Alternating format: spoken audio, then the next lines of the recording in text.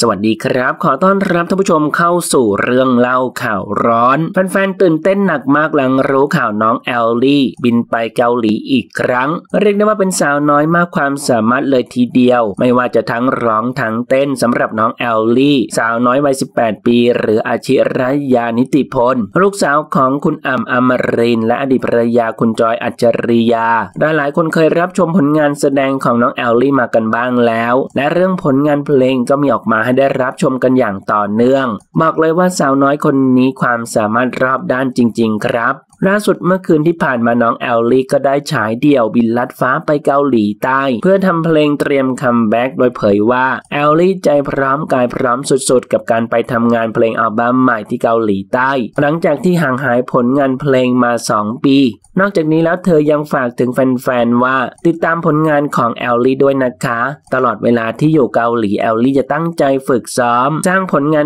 ดีๆ และรับรองการคัมแบ็กของแอลลี่ครั้งนี้มีเซอร์ไพรส์แน่นอนท่านผู้ชมครับ มีความคิดเห็นอย่างไรกับเรื่องนี้ลองแสดงความคิดเห็นกันเข้ามาดูนะครับ ขอขอบคุณข้อมูลจากที่นี่ .com ขอบคุณครับ